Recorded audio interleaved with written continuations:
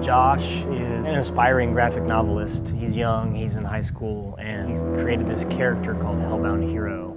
He's actually written and inked and sketched, created a manuscript in a finished volume one of, of Hellbound Hero. Hellbound Hero is, you know, this kind of dark, not an anti-hero, but a, a dark hero who says stuff like, I'll see you in hell. Josh, this is really cool. Thanks.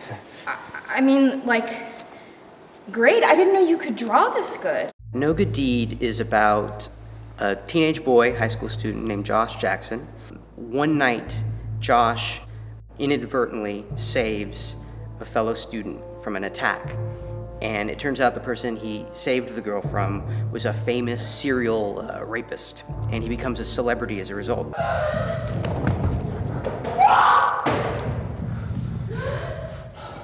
Over there. Station? Yeah, that's what it sounded like.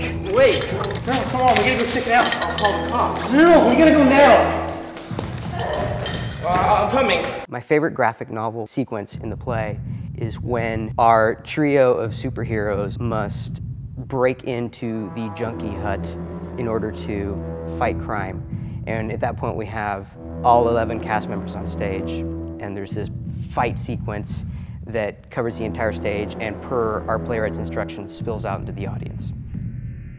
We came up with the idea of merging kind of a comic book world with a reality world because it seemed like it was a natural fit dealing with uh, kind of doomed heroes in reality. A way to kind of dramatize that and make it a little more upbeat was merging it with mythology about superheroes. So all our doomed heroes become superheroes. The tragic thing is they use their superpowers to try to go back in time and undo their good deed. What should he have? Power? Solar blast? Fucking X-ray vision? Turn invisible? What's your top pick? I fly. Definitely.